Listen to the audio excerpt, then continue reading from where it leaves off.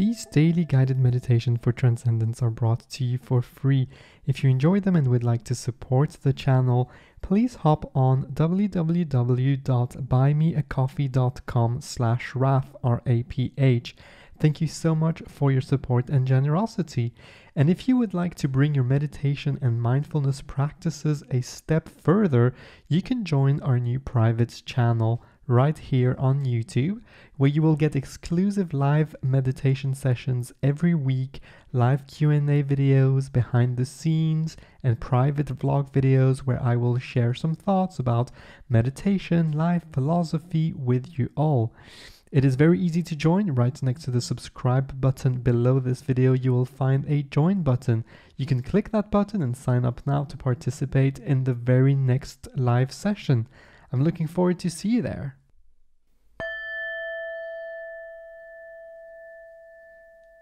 Find a nice place where you'll be nice and comfortable, where you will not be disturbed during the entirety of this meditation. For these types of meditation, you don't need to sit on the floor in a half lotus or anything fancy. Whatever is comfortable for you. If you do want to sit on a half lotus, you're very welcome to. If you prefer to sit on a chair or on a couch or on your bed or on a meditation pillow like I do on a yoga block, whatever makes you feel comfortable, everything is good. The only thing I ask of you is that you don't slouch, that you sit nice and tall, nice and proud, not too straight. You don't want to introduce any tension here. But we have this analogy where you're sitting available for the meditation, imagining a string pulling you up from the top of your head. The chin goes in a little, the chest goes out, and we start our meditation session like always by dedicating this session to somebody or a group of people. It can be anybody. It can be somebody you know, somebody you don't know. It can be somebody you love, somebody you care about. It can be somebody that you're having troubles or challenges with at this very moment.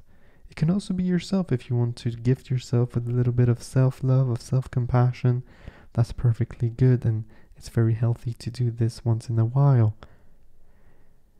And the way we do this, we put our hands to our heart, close our eyes, we take a nice deep breath and we project our love, appreciation, and gratitude towards that person or that group of people.